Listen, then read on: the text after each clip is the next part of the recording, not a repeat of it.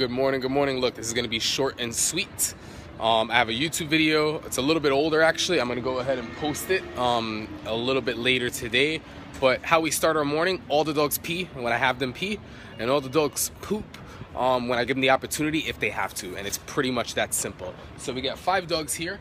We got Rolo, we got Echo, we have Willie, we have Willie, we have Copper, and we have Soli.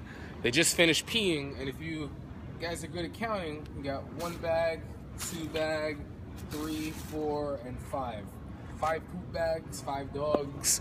Nice and easy. Now I'm ready to get the other 10 that are at the, or the other five that are at the training center. Um, and that's it. Uh, hey, uh, Kim, shoot me a text. Let me know uh, when you're coming to pick Copper up because we have a lot of dogs here and we're a little a little short staff.